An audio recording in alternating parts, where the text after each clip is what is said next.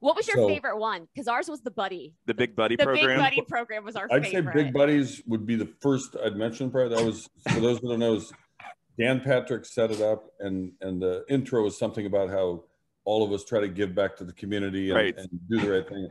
So it's Stuart Scott and I, and I can remember the night vividly because Stuart and I were actually doing a real show that night, Okay. eleven o'clock show, and we shot it at like eight o'clock or eight thirty, like three miles away at a high school. So you know we're in the middle of prepping for a show. We had to change clothes, put on shorts or whatever, sweats, get in our cars, go shoot this thing, turn around and come back and get ready for an actual show again. Um, and in this in the story, Dan sets it up that we're all good community activists and we're going to Yes. help out and give back to the kids. And then immediately, Stuart and I, our competitive instincts take over and we're yelling at the kids for the ball. Stuart checks a kid. He's like four feet tall Yes. going up playing, and Stuart rejects the shot. When you stole the ball from a kid too. I think I stole it from my own teammate. Yes. And at the very end, that was definitely ad lib saying something about your parents signed the permission slip. Yes. Get up. the kid is injured on the floor, you know.